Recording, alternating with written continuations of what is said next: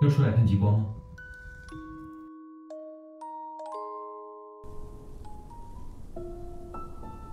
今晚真的会有极光吗？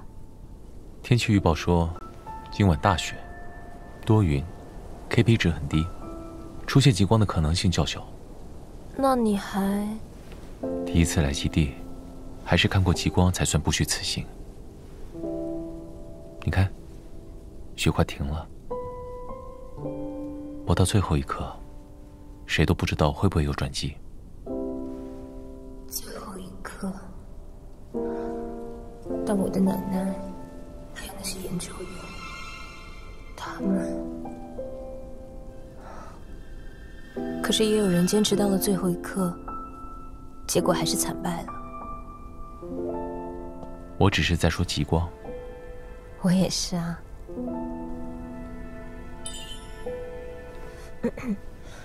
那里是什么地方？长衡山。长衡山。我记得那里发生过很严重的磁场异变灾害，好像就是几年前的事。方爷爷为什么要住到极地这么远的地方来？是为了你们的研究吗？不完全是。因为那场异变灾害，我的学长在那里牺牲了。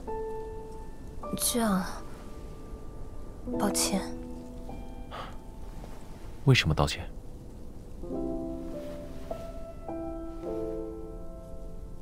你学长的牺牲也有隐情吗？只是个意外，已经是过去的事情了。你说，死亡带来的伤痛。真的会随着时间被遗忘吗？不会，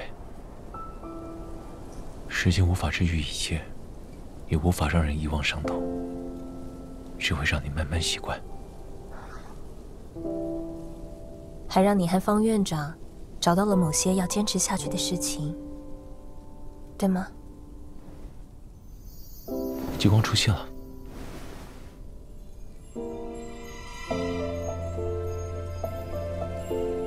你说的对，还是要看过极光，才不虚此行。可惜，只能看这么一下。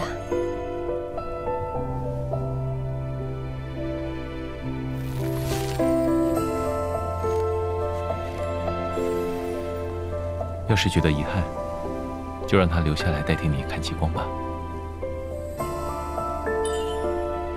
所以，这个雪人是我吗？你是不是还会在水龙镇留一段时间？啊。那还是留给你。看到他，就会想起我吧。不一定。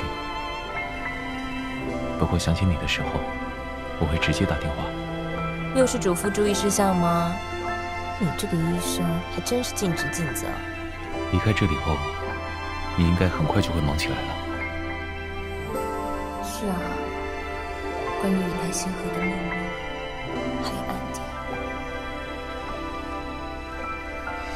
那就祝我们都能找到想要的真相。